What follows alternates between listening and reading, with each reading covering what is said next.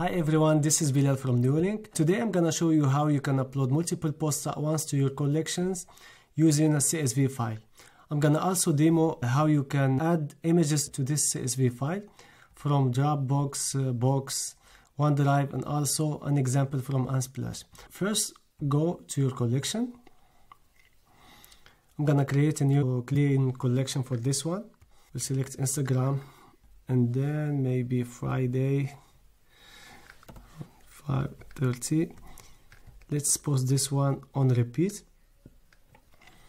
Click on create collection.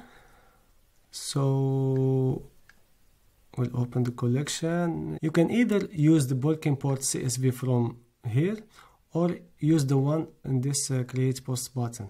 I'm gonna go with this one. Here you can see how the CSV file should look like in order for it to work properly you can click on it to download an example. I'm gonna download this one. Then I'm gonna open it on my Google Sheets. I prefer Google Sheets since it exports the, the cleanest CSV file format. Okay. Let me open this one. You can see here three examples that you can follow. The first line is an example of uh, text posts only the second one is a post with an image. This is a direct link, but you can change this with the, your Dropbox link or Box, OneDrive, etc.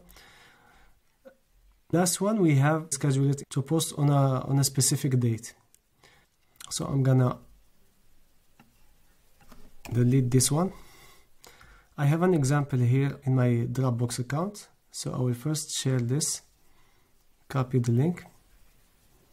I will start with the media links first. Then the second example, I will uh, use an image from my Box account, box.com.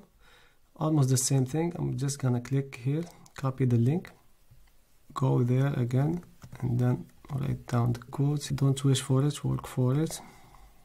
The third one is from OneDrive. Focus on your goal. I will use the this this link as well. So I'm gonna click here on copy the link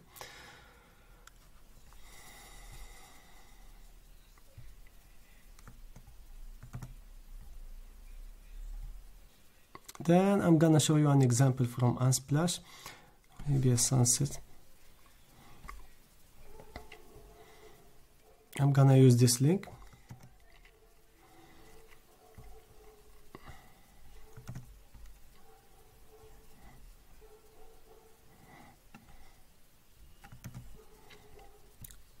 this caption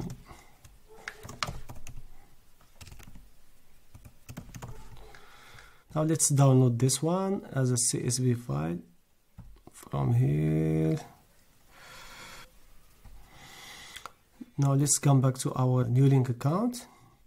Click choose the file.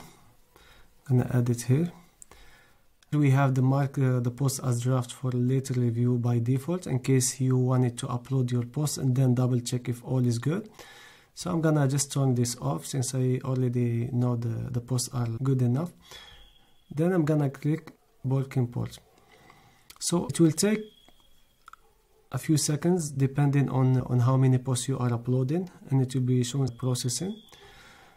Then you can see here these are the example. This is from Unsplash this is from OneDrive, this one from Box.com, and this is from Dropbox. Hopefully this makes sense. Let me know if you have any questions. Thank you so much.